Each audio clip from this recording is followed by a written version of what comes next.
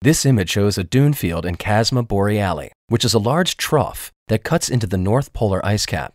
Some of the dunes in this image are quite long and sinuous, with a slight bulge at one end, like a head, giving it the appearance of a snake. However, most of the dunes visible here are of the type referred to as Barchan, which are characterized by their crescent shape. For these types of dunes, the mouth of the crescent points in the downwind direction, indicating that the winds are traveling east-west.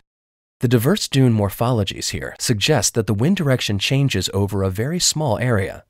When we look at this image, Mars was in late spring. At this time of year, the dunes in this image are almost completely covered by frost. But this will soon change. Small portions of the underlying dark basaltic sands of these dunes are becoming increasingly visible with the active removal of their seasonal coating of ice. A look at a series of images demonstrates the transition from early to late spring, marked by defrosting and the gradual growth of dark spots. By summer, the dunes will be defrosted and will appear completely black.